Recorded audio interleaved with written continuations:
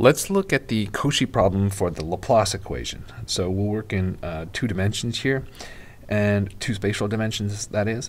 And suppose we take the condition uh, on u along the line, uh, well, along the x-axis to be given by f, and uh, for du dy uh, along there to be given by g. So there's some interesting features of this elliptic PDE um, that are best seen by looking at an example. So suppose we take a couple of examples. For the first one, um, we'll take f of x uh, to be 0 and g of x to be 0.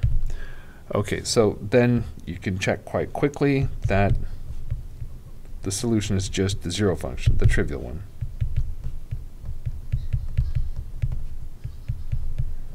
U identically equal to 0. Okay. Uh, on the other hand, let's consider um, f of x to be uh, 1 over n cosine nx, and we'll still take g to be 0. Okay, so in this case,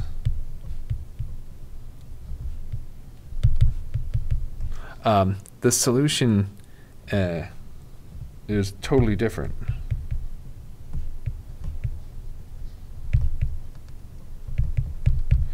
And so in particular, uh, so explicitly, uxy is given by 1 over n cosine nx cosh and y. And this um, cosh part right here is going to be unbounded uh, as y gets large because it looks like an exponential function. Let's take a look. Here are the solutions for um, n equals 1, n equals 2, and n equals 3.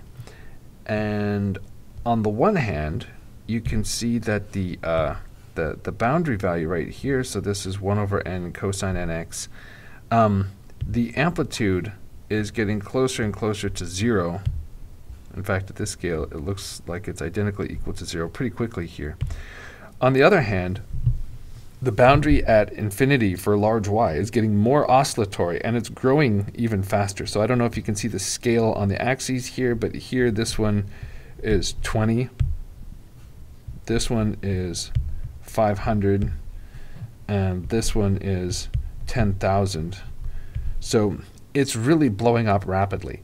So on the one hand, we can make the initial condition as close as we want to being equal to zero, right? Because for large n, uh, this this function here is going to uniformly go to zero. That is, every single value of f of x on the line is going to be less than or equal to 1 over n. So that whole oscillating function is just going to collapse down to 0. And at the same time, the closer that gets to 0, the more berserk the function values get out here at infinity.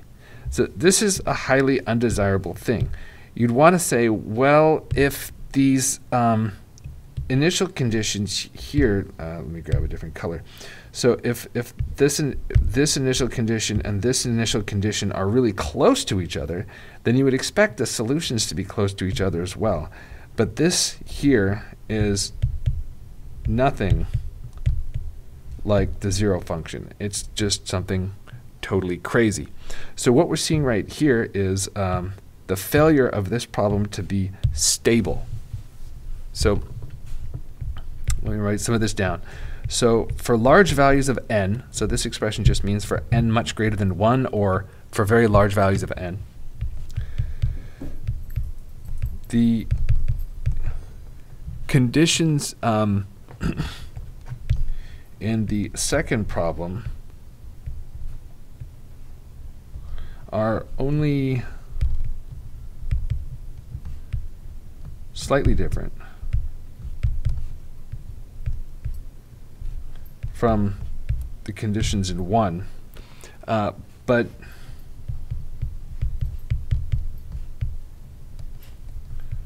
the solution is radically different.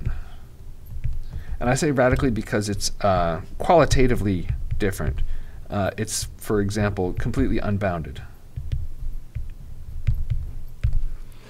Um, and and so more formally, we might say that the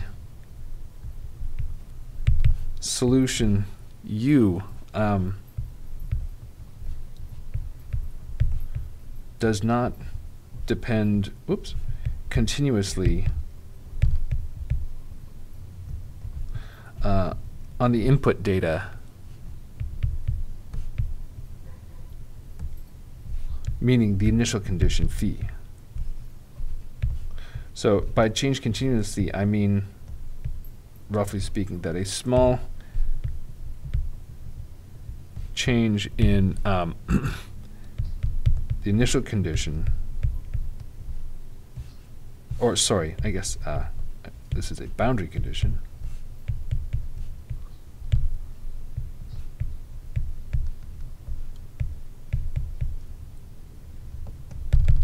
This results in a qualitatively um, different solution.